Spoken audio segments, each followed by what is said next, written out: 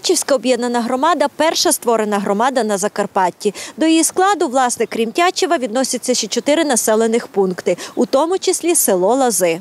Хоч утворилася Тячівська громада в кінці 2015 року, але фактично функціонує рік. Про перші результати говорять місцеві. Вона світло нам зробили, асфальт зробили, не знаю, скільки, 7 кілометрів.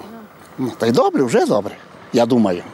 Ну, ну, треба далі робити. Біля школи поклали е, дитячу площадку. Не, довідки всі тут беремо якісь, ми і брали, то все ніч там. Ніяких проблем таких немає. Ми що буде сходити, е, трудити, щось друге таке.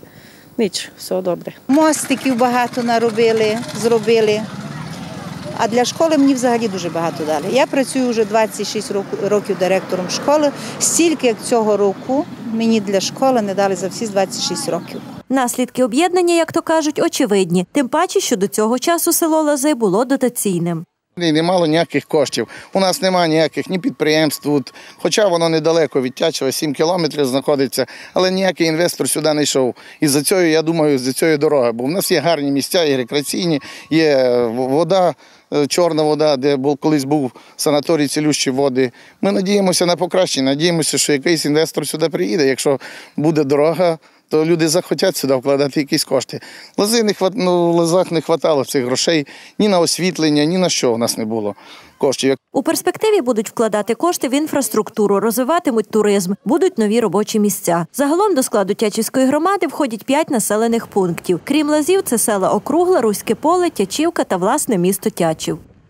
в інфраструктуру і в розвиток цих населених пунктів було вкладено по 5-6 мільйонів.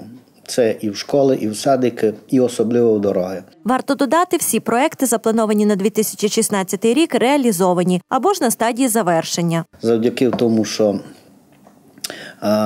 кошти, були, кошти, які були закумульовані відповідно до діючого законодавства, яке давало право нам, об'єднаній громаді, акумулювати в себе податок на доходи фізичних осіб.